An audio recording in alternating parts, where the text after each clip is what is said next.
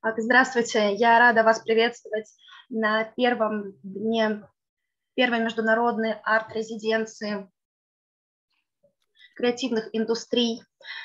Мы сейчас находимся на онлайн-секции по направлению визуальное и изобразительное искусство. Это формат, где можно познакомиться со спикерами из России и мира, узнать новые из области современного искусства и креативных индустрий. Онлайн-секция арт-резиденции состоится с 25 по 28 апреля 2022 года. Сегодня только первый день. Можно к нам подключаться на протяжении а, всей истории и также смотреть а, лекции в записи. А, я как представитель молодежного центра современного искусства а, благодарю организаторов это и кластер творческих индустрий, фонд креативных технологий Ульяновск культурная столица. А, проект реализуется с использованием гранта президента Российской Федерации, предоставленного фондом президентских грантов и благотворительным фондом, фондом Владимира которого может поделиться своим творчеством Выступить любой желающий. Любой был. Да?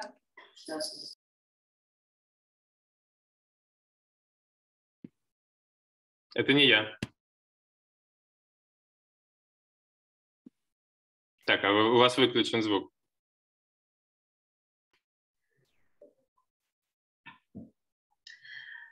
А, я рада передать слово первому спикеру, Алексею Баженову.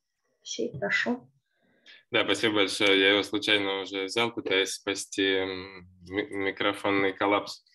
А, здравствуйте, коллеги и друзья. Спасибо большое, что пригласили. Мне всегда интересно поговорить о чем-то важном. А, я сделал эту лекцию для конференции в Русском музее. А, подумал, что она сейчас обрела особую актуальность в связи с тем, что ну, с, раз, с разворачивающимися событиями. Вот, поэтому мне кажется, что, ну, то есть я с удовольствием согласился. Сейчас попробую кратко запичить. Я думаю, что, может быть, мы быстренько это сделаем в каком-то таком более веселом формате, не очень формализуя.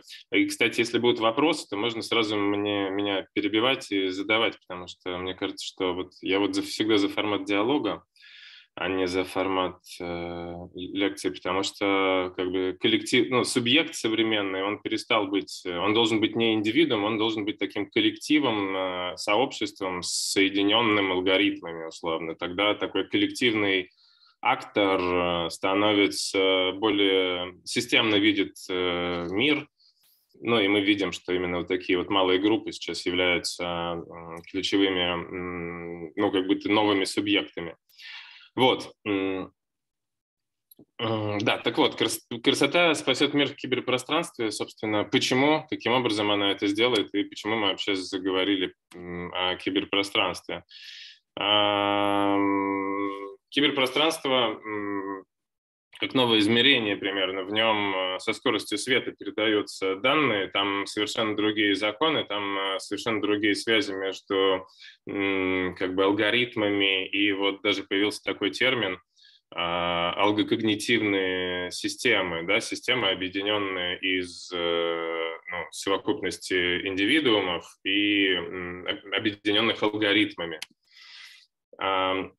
мы видим, что ну, настолько важной стала вот эта вот алгоритмичная э, среда, в которой объединяются люди, вот это киберпространство, что мы видим, что все конфликты одновременно очень активно происходят именно в таком в киберпространстве, и Инстаграм стал органов, органом чувств, э, как глазом таким осязаемым практически инструментом, поэтому как бы так э, резко, сильно реагируют, ну, на, на эту ситуацию. Да? Это, это больше не какой-то конфликт где-то далеко, это прям конфликт на кончиках наших пальцев.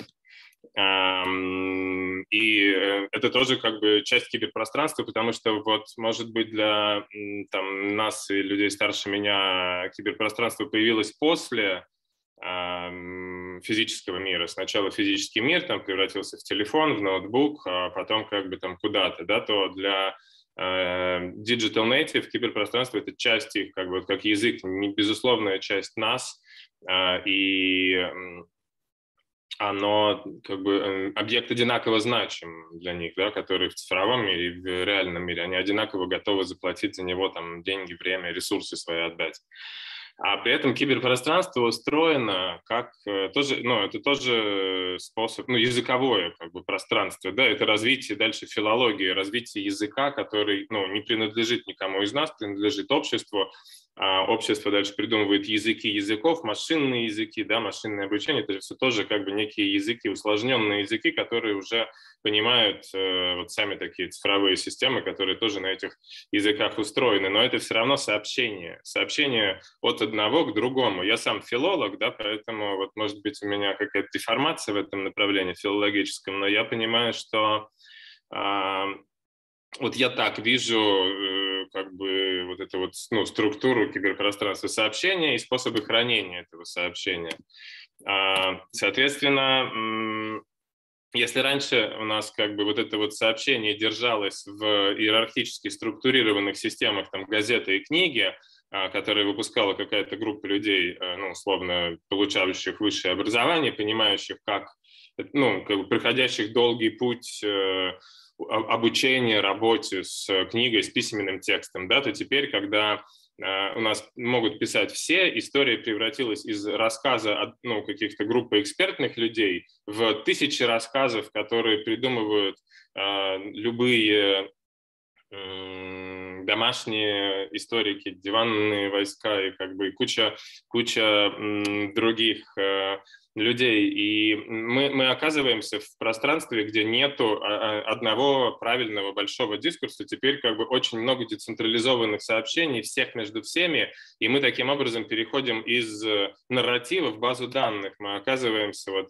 э, в ситуации таких э, баз данных. Но об этом мы сегодня не очень активно будем говорить. Мы будем говорить о том, что сообщения включают в себя как бы две, две части. Вот филологи, когда анализируют эм, лингвистику, они говорят о языке как коде, да, как нечто потенциальном, что хранится там в моем мозгу, в книгах, в культуре между, между людьми, и о речи как э, индивидуальной реализации вот этого языка. У меня где-то есть структура хранения, а где-то я вот ну, реализую конкретно сейчас рассказываю, речевых особенностей очень много, а язык, он такой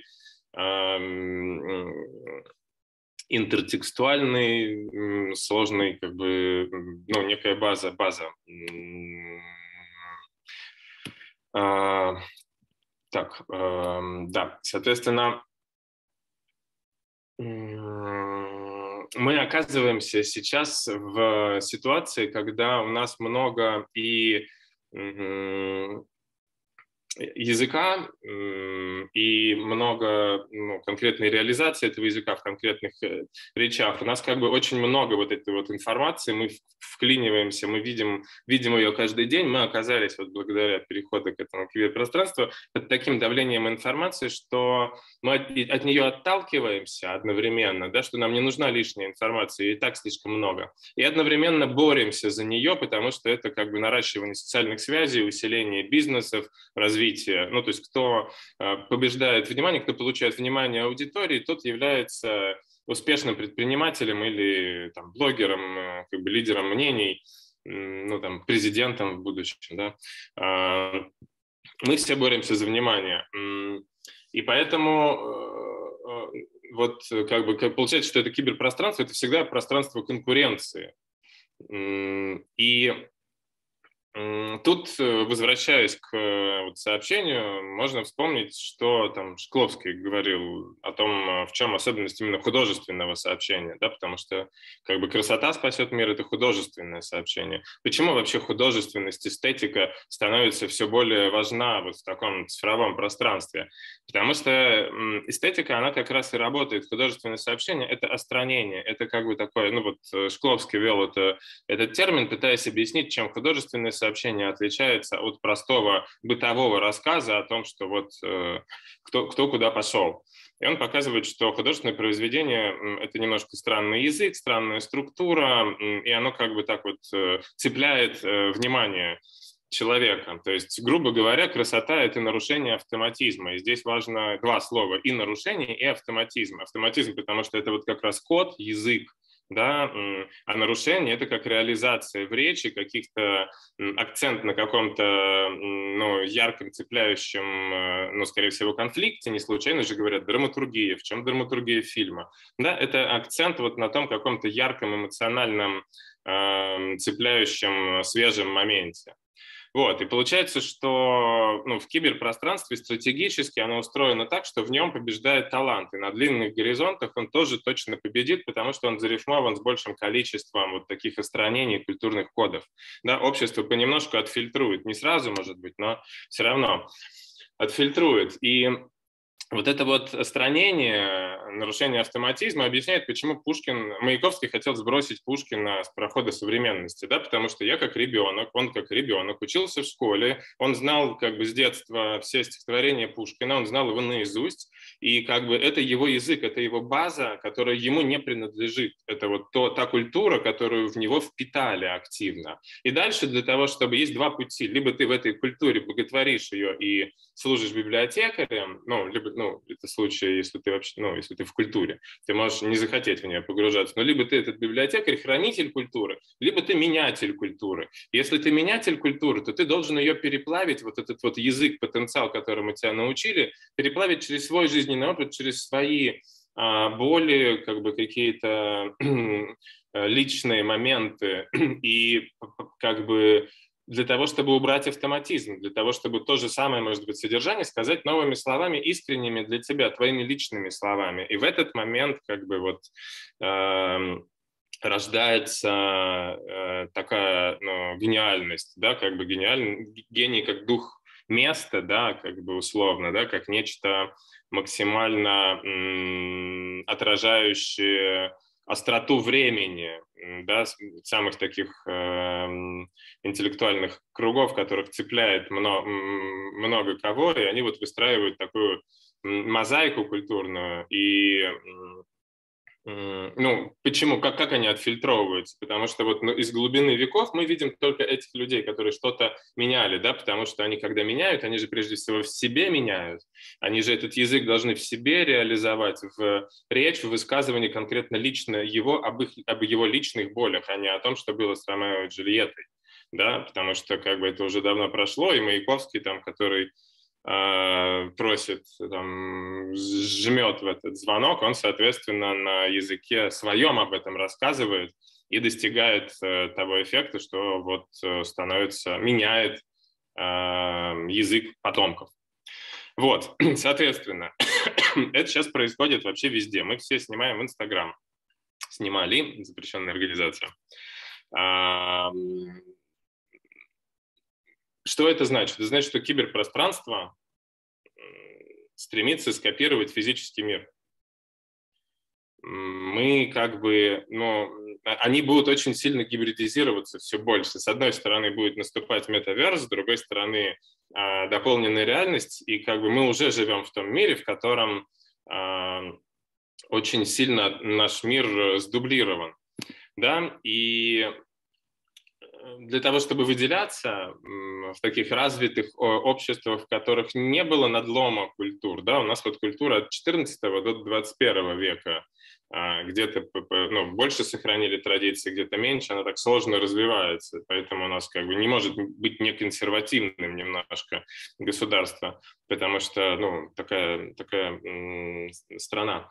Вот. А, Соответственно, а в тех странах, где э, эстетика достаточно цельна, где не было таких надломов, да, там, ну, как там, Франция, там французы, Германия, там немцы, у них более-менее э, одинаковое эстетическое восприятие, потому что там не мультинационально и исторически они примерно в один контекст развиваются. Вот они все эпоха постмодерна. Да, и э, у них как бы вот конкуренцию, получается, э, начинает выигрывать именно вот такое как бы изысканное, красивое, цепляющее внимание, ну, разное, конечно, но много вот такой эстетики начинает интегрироваться в продукт и в обычную жизнь, потому что она полностью в киберпространстве, полностью в пространстве удерживания, которое хочет удержать наше внимание. Киберпространство очень хочет, чтобы мы там проводили все время, и оно нас втягивает нашими же как бы возможностями, э, ну, интеграцией людей в совместную такую алгокогнитивную систему. Вот, поэтому мы оказываемся в, э, перед э, термином aesthetic reality, который вроде Манович вводит, насколько я знаю, и эм, как бы о том, что корейские кафе вот он там живет, э, жил э, в каком-то году в Корее, и у него там было много, вот он нам показывал какие-то кусочки этой жизни, и мы видели, насколько там красиво, насколько там безупречный вкус, самое обычное кафе. Да, это по факту потому, что там все время приходит фоткаться, там никто не ест и не пьет, ну, грубо говоря, и есть и пить там параллельная задача. Это прежде всего съемочная площадка, за счет этого они выигрывают э, конкуренцию.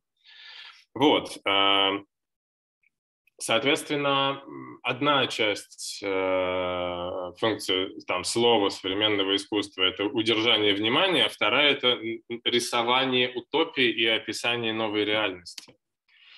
А, То есть, может быть, она даже такая, такая более базовая, что ли, функция, потому что э, вот э, у, у, у Хайдегера была такая теория, он заметил, что слово «истина», греческое слово «истина», которое вот звучит как «алитея», переводится как несокрытость. Лето – это вот река забвения, это вот нечто, что скрытое, а алите – это нечто открытое из скрытого, несокрытость. А, и потом он говорит, что истину начали противопоставлять фальше уже, как бы, когда есть э, подлинное и неподлинное. А ну, изначально в структуре слова вот э, там в X веке до нашей эры, там, в XIII веке, или может еще раньше, а, было именно вот, что это не сокрытость слова, а, как бы для человека, который впервые оказывается в мире не названным, оно служит называнием этого мира. Да, оно создает мир, как бы утопическая функция, преобразующая мир. И вот Хайдегер как бы призывал вернуться уже вот к этому слову, чтобы слово а, описывало эту новую реальность. И вот сейчас у нас похожий этап. Мы оказались в новом мире. А, все а, все человечество оказалось в новом мире еще ближе к катастрофе, э, чудовищный распад, невозможность договориться, невозможность договориться элита, элитам и отдаленность от элит, которую невозможно практически преодолеть. Одновременно у нас появляется искусственный интеллект, неорганический разум, да, который как бы, ну, вот э, Хокинг, э, великий ученый, говорил, что все, типа, точка сингулярности пройдена. Типа шансов на выживание у человечества очень мало, на его взгляд, супер мало. И в этот момент нужно вспоминать, да, что вот вначале было слово искусство, вот, вот этот момент становится зоной свободного эксперимента, а, не отражением, да, отражение – это уже слово, которое ну, позже Аристотель э, вводит он как бы это уже как бы когда мир был назван, Аристотель говорит, что искусство это мимисис, искусство это отражение. Это уже следующий этап. Вот сейчас как будто нам нужно вернуться на предыдущий момент и увидеть э, функцию искусства. Именно, ну, и, ну, у нас даже выбора-то нету а, сейчас. Поэтому современное искусство – это этик реалити. Если вы продолжаете оставаться художником, то вы преодолели уже эстетик реалити. Как бы мы сейчас, нам сейчас не до эстетики, нам необходимо вернуться к эм, реальным катастроф, катастрофам, которые происходят сейчас. Поэтому у нас есть э, э, главный вызов стоит перед нами сегодня, это, ну, точнее, их два. Если упростить э, совсем, э, это потеря биоразнообразия, то есть экология и экологическая катастрофа, потому что ну, вообще все говорят, что шансов успеть все меньше. А, потому что там могут начаться очень жесткие изменения, и каждый доклад, который выходит, говорит, что мы все меньше успеваем, и что как бы там это приводит в итоге просто, понимаете, к голоду и к, к экологическим беженцам огромным, там, типа, миллиарды людей. По крайней мере, какие-то эксперты об этом пишут. То есть риски этого уже существуют. Вот, это с одной стороны. А с другой стороны, это потеря культурного э, разнообразия, да, потому что культур тоже должно быть много. Культура должна быть э, разными, э, с разными базисными ценностными историями, но они должны уметь договариваться и взаимодействовать друг с другом, потому что без этого они как бы как раз и будут уменьшаться. Тут проблема не только там ну, их или нас. Тут как бы не мы, не они не могут договориться. И это ведет к потере культурного разнообразия. Это очень опасная история. Против этого необходимо бороться. Вот. А при этом остается ли вот повестка ESG, которая везде была, да, экологическая повестка, и, и одна проблема, и вторая проблема ведет нас к тому, что а, я просто больше индустрией моды занимаюсь, поэтому я чуть-чуть здесь вот э, ближе к индустрии моды расскажу, что ну, а, современный там дизайнер, талантливый художник, стилист, да, там, поскольку это все междисциплинарно в индустрии моды, и то, и другое в настоящем высоком как бы, уровне присутствует, мы говорим, э, он, он, ну, ему необходимо призывать к смене моделей, да, как бы моделей потребления. Мы должны пройти, это, это не, уже не капитализм, это посткапитализм, это должно быть что-то циркулярное. Э, капитализм не циркулярный. Да, каким образом выстроить внутри себя другого потребителя, что это должно быть самодисциплина, как-то вообще, может быть, исследовать этот феномен, можно ли это преодолеть, или как бы уже нужно красиво катиться в какой-нибудь э, катастрофы и не париться ни о чем. Вот. А, и еще один важный момент – это потеря как бы территориальной э, связанности элиты. Да, вот э, часть очень умных, талантливых людей, моих друзей оказались за границей. Я не хочу их терять, и, как бы, и я думаю, что будет очень плохо, если их потеряет Россия, и они потеряют Россию. Поэтому максимально идет децентрализация и, и выход на, вы знаете, как э, выход на э, такие, ну, на, на, на понятие справедливости универсальной справедливости, да, а понятие универсальной справедливости существует сейчас только через, э, ну, криптоанархисты, тут, может быть, слово анархистов смущает, но по факту децентрализованные системы, там, DAO, криптовалюта, это же все, что это такое? А, это потеря доверия к обычной валюте. Те, э, ну, как бы все больше денег контролируется все меньшим количеством людей. Это означает, что как бы, ну, вот деньги как инструмент координации сообществ перестает э, функционировать, потому что он ну, отражает интересы очень маленьких групп, и появляются как бы другие интересы, появляются какие-то все, что-то там, ну, майнят какие-то там, эм, ну, как бы валюты выпускают, при этом они еще на технологии доверия, их нельзя обмануть, они правильно выстроены. Это тоже как бы математическая задача, вот математики решили эту задачу, теперь это можно осуществить, и получается, что мы вот приходим к реализации той русской мечте о свободе, которая э, вполне себе достижима в э, этом пространстве, и выбора у нас по факту нету, мы все равно к ней рано или поздно, ну, как точнее, мы, мы в этом безусловном направлении движемся, к сожалению, очень болезненно для всех.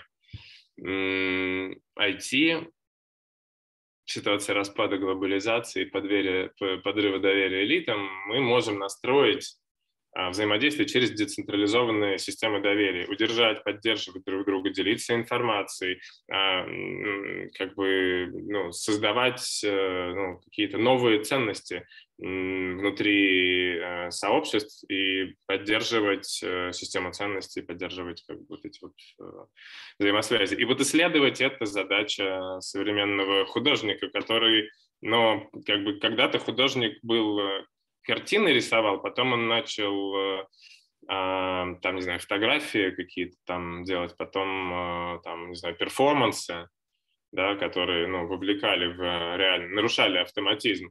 А сейчас он как бы, сейчас история базы данных и искусство тоже база данных. Современный художник, он работает э, с ну, вовлечением внимания большой группы людей и в идеале как бы дает э, большое количество форматов взаимодействия между этих людей, как бы выстраивает эти экосистемы. По крайней мере, это вот э, тот, тот, тот челлендж, который меня триггерит. Так, а я еще пару слайдов тут у меня скрытых, да, соответственно, что нужно исследовать э, художнику сейчас, вот, как мне кажется, бесконтрольность мировых элит, пузыри и короткие сообщения. Мы перестали видеть сложность мира, мы оказались в очень маленьких историях, и все говорят, ну вот этот же точно прав, этот же точно прав, потому что за секунду ты можешь объяснить, кто, и отрепостить.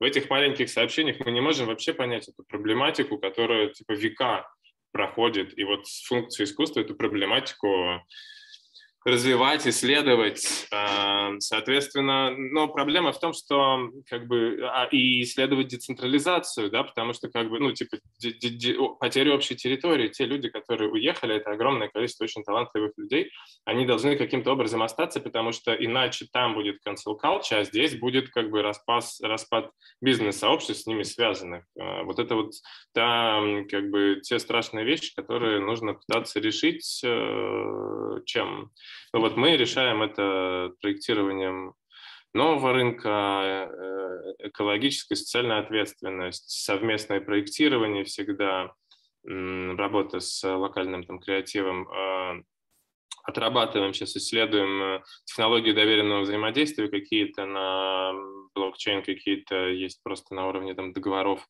А, вот э, Стремимся создать открытую децентрализованную модель для настройки локальных бизнес-экосистем. И вот э, думаем о том же, что такое этот кибергуманизм.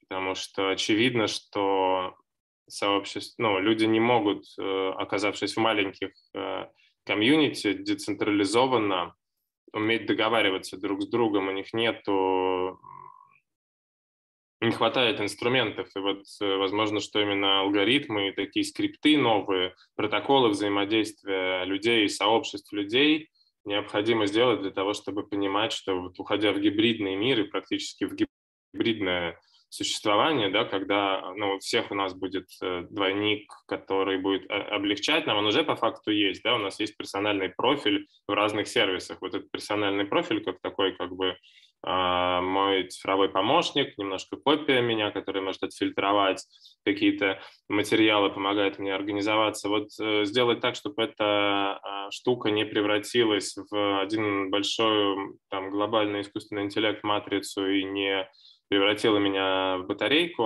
а, а была, что ли, как-то сбалансирована, интегрирована Э, с ограничениями, а, но понимаю, что мы все равно в этом направлении идем, и это, видимо, путь э, живых существ, а, преодолеть э, даже индивидуализм и преодолеть, может быть, а, еще и вот эту вот белковость свою, да, чтобы говорят, что интеллект должен стать чем-то, что преодолеет белковую как бы природу и стать э, таким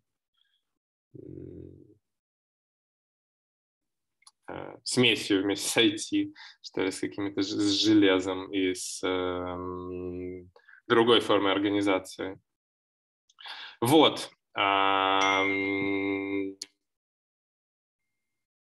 Не знаю. Надеюсь, что это звучит челленджабл для вас. А, спасибо вам, очень интересно. А, давайте перейдем к ответам на вопросы. Я видела, что у нас есть вопросы в чате. Давайте. Так, что всего важно изменить в себе, чтобы в новых реалиях быть на острие актуальности, что сейчас нужно транслировать, чтобы качественно выделяться на фоне остальных, быть интересным в рухе духа времени.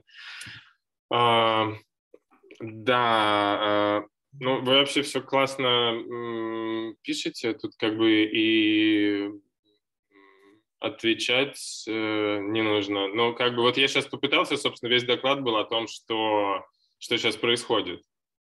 Вот сейчас происходит вот такой чудовищный сдвиг всего. А, и все на грани и животные на грани, и природа на грани, и человечество на грани, и, и легко мы можем превратиться в батарейки. Очень страшно должно быть. Но, как, точнее, очень страшно сидеть без дела, а вот как бы что-то делать, это то, что ты можешь внести. Почему красота спасет мир? Потому что, э, да, я не ответил на вопрос-то. Спасибо, что задал себе.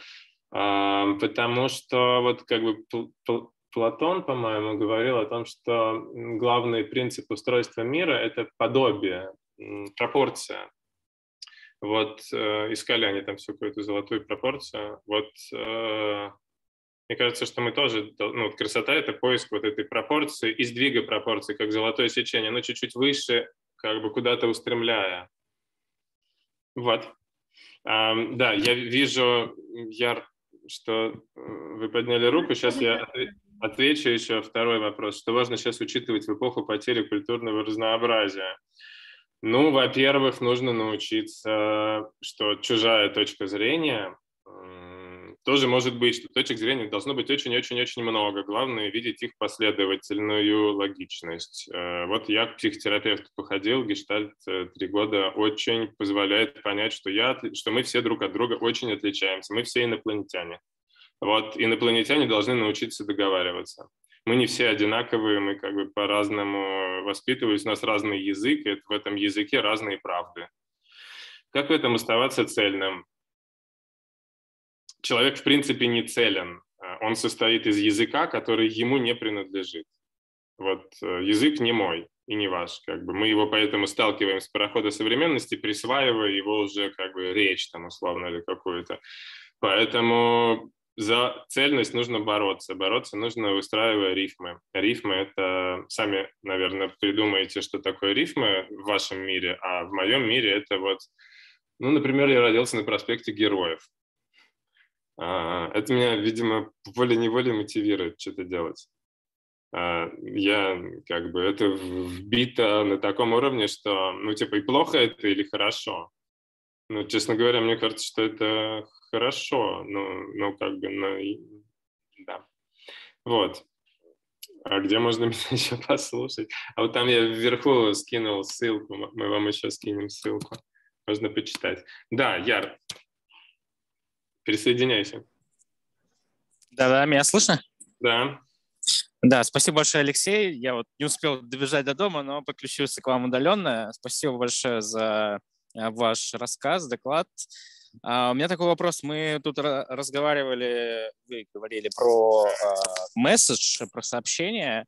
А, ну, в данном случае художники так или иначе в любой кем бы они ни были, ипостаси посылают какое-то сообщение, и тут очень важно его правильно сформулировать и подать четко, понятно, э, никого не обидеть и так далее. Вот, э, может, подскажете из своего, в том числе, опыта, чем художнику, в широком смысле этого слова, а, а, чем ему, а, за что цепляться, за что смотреть при создании своего послания, месседжа, какими инструментами, они часть звучали, но, может, так еще подведете итог, и, может, что-нибудь добавите, какими инструментами пользоваться и какую информацию черпать, чтобы себя прокачать, чтобы свои месседжи э, были более четкие для зрителя непосредственно,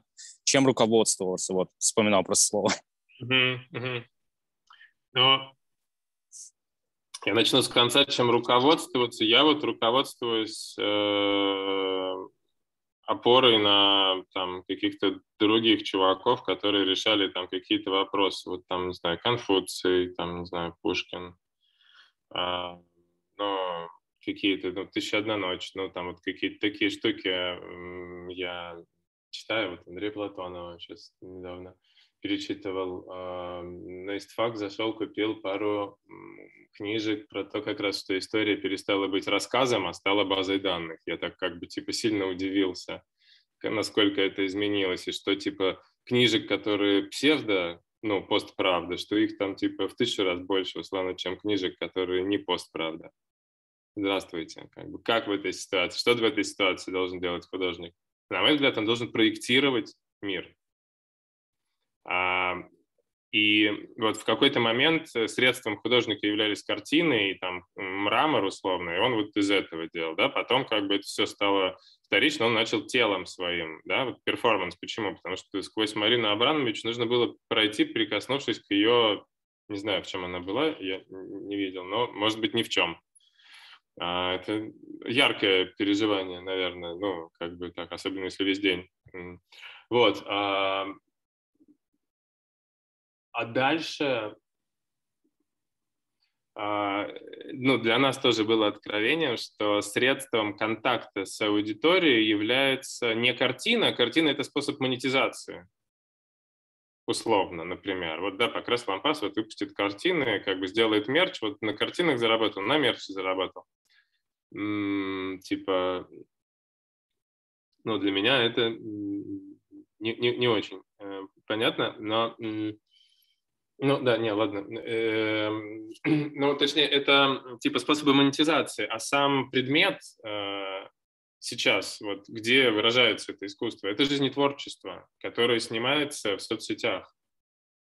Вот э, если посмотреть на Сашу Чайка, он, конечно, там отрекся от, от России и от всего остального, как много кто. Но просто мы с ним тут дружили и будем дружить, я надеюсь, хотя фиг знает. Э, ну, я буду дружить. Вот, они давно, как бы, вот все вечеринки превращаются в какие-то перформансы, они снимают историю, они как бы, типа, вот рассказывают об этом, и это и есть э, формат искусства, потому что в этот момент ты контактируешь с человеком, это можно сделать вот э, таким форматом, ну, типа, что не, не, не ну, то есть что-то, что меняет окружающую действительность. Мы оказываемся в мире, где художник должен менять окружающую действительность. Это может быть э, разным способом сделано. Вот я считаю, что мы это тоже примерно делаем, выстраивая критику моды, давая какие-то вот такие опоры в направлении, да, ну, такой вза взаимный базис. Вот. Э, ну, то есть жизнетворчество является той средой, которая, в которой художник должен высказываться. Потому что это самый современный а, жанр, самая современная среда, она больше всего влияет на окружающих людей. Вот, и, и тут как бы она так сильно меняется, что типа не совсем понятно, на кого смотреть, и все ли, что в Инстаграме типа классно, это классно, нет, конечно, да. И как бы вот э, там, если у тебя миллион подписчиков, и ты расписываешь там Dover Street Market, вот для меня он все равно не становится великим художником совсем. Я как бы, ну, так, я как раз тоже это говорю, так без обид, э, ну, в смысле, что это нормальная беседа. Вот, но, но есть понимание, почему, потому что все время одно и то же рисуют. Как бы вот, поэтому если говорить о том, на что опираться, то э, это, это про среду, а типа на что опираться? Опираться на вот ту культуру, тот язык, который тебе дали, и на все остальное, личное, личные травмы, личные как бы э, контекст, чтобы сделать его своим. Нужно, нужно присвоить вот эту историю. Э, нужно ну, вычеркнуть из языка все, что не там ваше да, и вычеркивая все, что не ваше, посмотреть, как этот конфликт будет переплавляться внутри э, и вот куда-то мучительно ломаться, вплывать, э, но, но как бы понимая, что это, это вот про эстетику, а дальше этика, а дальше, ну, а в этике это означает, что нужно произнести новую систему ценностей. Вот тогда вы будете великим художником. То есть, спасибо за ответ. То есть, Русскую получается... мечту. Русскую Да. мечту нужно понять, какого хера? Ну, то есть, Типа, вот э, ради чего? э, если я правильно понял, э, то как бы нужно просто э, проецировать через, свое, через свое творчество зрителю себя, свою личность и э, вычеркивать вот как раз-таки все, что не твое. Я правильно услышал? Ну, Ну, кстати, вот говоря, кстати, про Покрас, он к своим картинам обычно просто пишет манифест, и там на самом деле больше э, картина, вот как вы заметили, возможно, просто монетизация, правда, идет, но обычно он вот манифестами высказывает э, то, что думает. Вот, у него такой способ, как я знаю, насколько я знаю. Ну, Люди меняются. Вот э, мне тут все говорят, что Ким Кардашьян уже адекватно, а вот Ксения Собчак тоже странная была девица, а теперь какая политический активист практически. Вот, а, поэтому, ну, он, ну, люди в разные моменты становятся гениями, но гений — это соответствие вот э, времени еще как бы. То есть вот этот вот личный рассказ, он должен быть таким личным, но и таким общим одновременно, чтобы попасть в боль, э, ну вот герой нашего времени, в боль э, нашу сейчас. Вот, поэтому будем смотреть. Вот, так, ам, Спасибо. да, извините, если я занудно отвечаю. А, Так, э, тут э, Анна еще спрашивает, да, я за- задам вопрос? Или как? Просто вы подняли руку? А, Да, давайте Аня сначала ответим, а потом... Вы производите э, ощущение очень цельного человека. Сказать, за цельность надо бороться. Как боретесь за свою цельность именно вы? В чем секрет? Они какие-то люди, которые пытаются... силами. М, Ну, я, во-первых, филолог. Я долго думал, как-то что-то странно микс. Ну вот, как бы надо сохранять э, ну, весь свой... Он, ну, я научился сохранять весь свой опыт, используя его ну, полностью от э, там, четырехлетнего воспоминания, как я хихикал в детском саду, но я так на- настраиваюсь на это, да. То есть если ты сохраняешь все возрасты, то ты становишься как бы зарифмован э, с большим количеством э,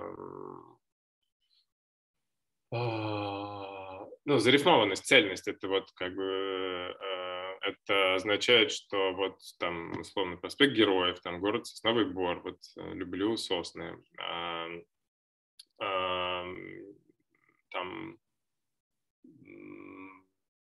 ну, фи- филолог, соответственно, я вижу в современном кризисе конфли- ну, проблему коммуникации. Да? Я вижу, что это вот сообщение, что все киберпространство — это сообщение, поэтому роль идеологии, сообщения, как бы рассказа становится такой мощной, в том числе визуального рассказа, и бессознательного там тоже можно. Как выражается бессознательного Инстаграма? Его там еще больше, чем как бы Фрейд мог бы представить. Оно там еще века будет бродить и как бы влиять на, потому что мы стали базой данных.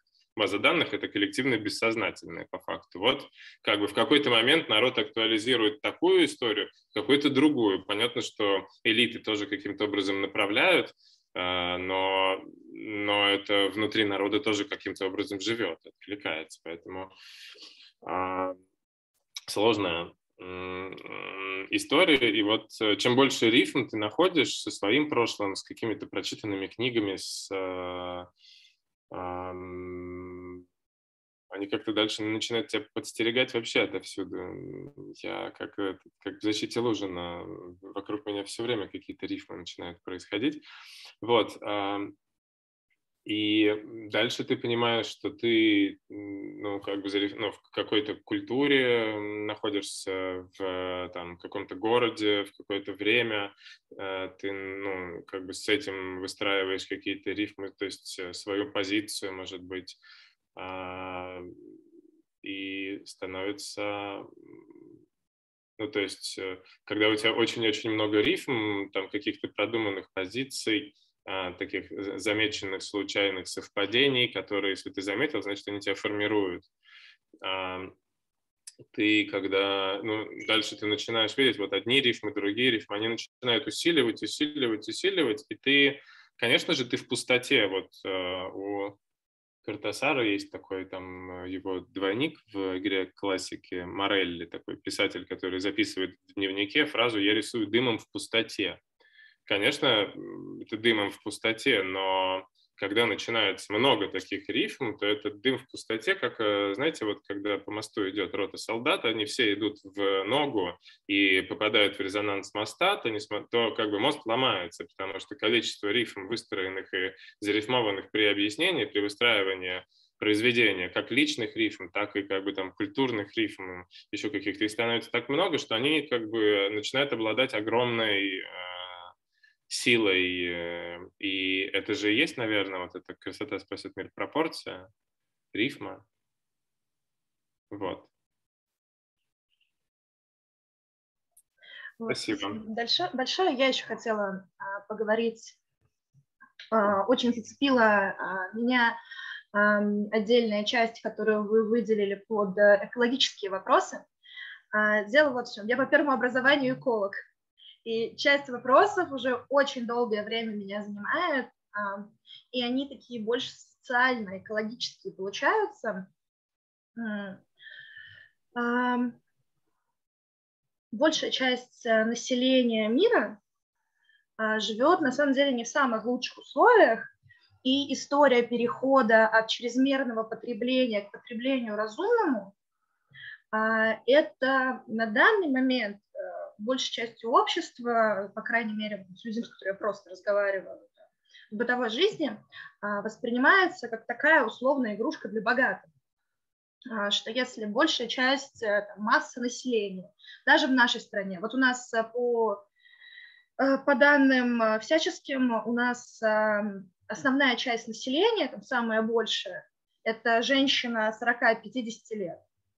Мы же понимаем, что в своем детстве они еще застали лютый дефицит, а, и эти люди с немного а, обостренным а, вот, желанием потреблять, их эм, там, все еще там популярное э, выражение внутреннего ребенка радует возможность э, находить себе в магазине там красивую вещь за доступную цену.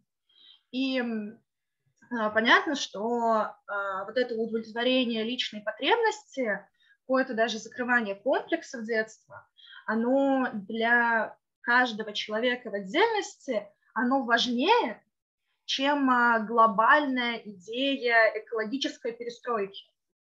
Ну, потому что это сиюминутная радость. Ты делаешь здесь и сейчас, а не огромный вклад в будущее. И вот, эм, вот, вот со всей этой информацией меня очень давно волнует вопрос. А, как вы считаете, возможен ли на данный момент массовый переход к осознанному потреблению? Или такого вот условно перескочить через ступеньку от э, отсутствия возможности потреблять к чрезмерному потреблению и дальше к разумному? Вот получится или не получится перескочить перепотребление у большей части населения? Ну, знаете, у большей части населения перепотребления нет, у них голод – отсутствие воды, а вот у да, ну я бы. одного миллиарда есть, э, и у нас в их числе как бы в каком-то смысле перепотребление по сравнению с Африкой и очень неразумное использование средств. И ни у нас не получится. У нас сейчас будет очень хорошо развиваться second-hand, вторичное потребление одежды, и это очень хорошо, очень правильно, так и надо.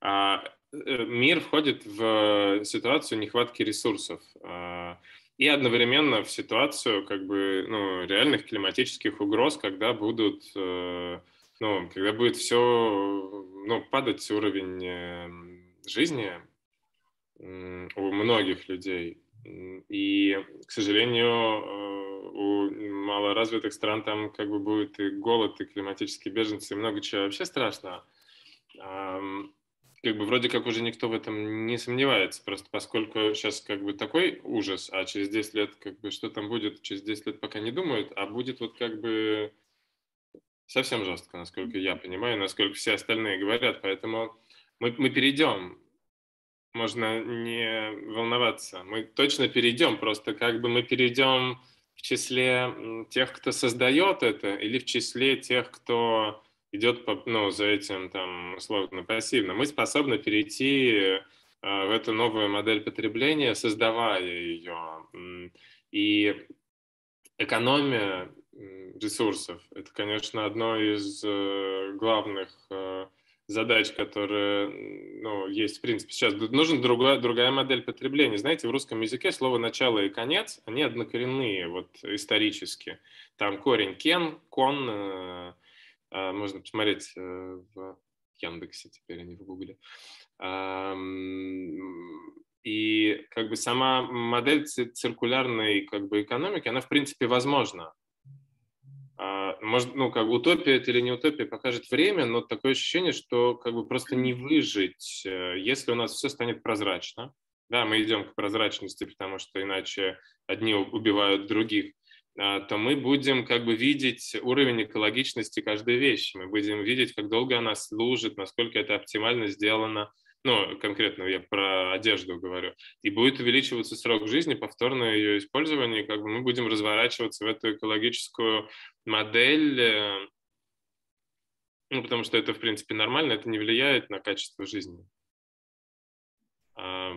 Да, я в целом э, с вами согласна, я просто думаю, что это уже настолько крупная проблема, а, что, конечно, нам необходимо активнее создавать инфраструктуру для ее решения. И я думаю, что здесь важна роль художников, экспертов в модной сфере, в том, чтобы привлекать внимание к тому, что с точки зрения производства все это реально.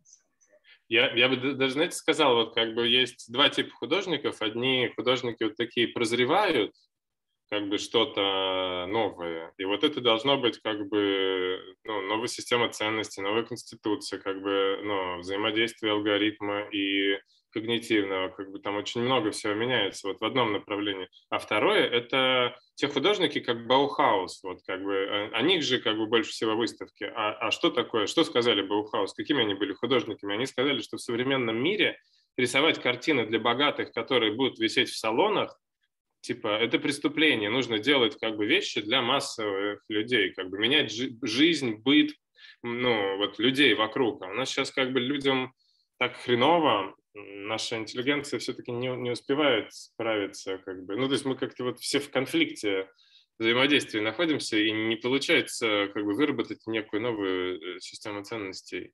Ее, ее вот художники и должны вырабатывать, меняя этим окружающий мир. И поэтому настоящий художник, как бы для меня, ну, то есть, да, вез, ну, как бы они разные все, ну, и в конце концов, зачем меня слушать? Есть вот визионер, прозревающий, э, ну, какие-то надчеловеческие принципы, все равно объединяющие силы у него, да, он как бы должен в такую группу людей, он говорит о себе, но он попадает в ценности большой группы людей, это уже, искусство это уже что-то такое, ну, объединяющее начало, особенно сейчас, когда вот идет такой распад. Я был в БДТ тут в Питере на э, пьесе «Губернатор». И там, конечно, очень красиво а, а, ну, о том, что, ну, э, условно, о непротивлении злонасилием, да, о том, что как бы пожалеть, преодолеть, ну, как бы не иметь ни одну группу людей, которые а, там, как бы, ну, отрицать которые, типа, ну, можно сказать, что это и христианские ценности, конечно, но я вырос в другой парадигме, мне бы не хотелось ее менять. Вот. Спасибо вам большое, очень продуктивно мы провели с вами этот час. Эм, надеюсь, Спасибо. Надеюсь, что в записи нас посмотрят еще больше людей и получат от этого такое же, а то и больше удовольствия. Как Супер, мы. вас расшифровка тогда, и мы опубликуем это в моем блоге. Выгрузим все на диск, ссылки будут, э, вам пришлем. Спасибо.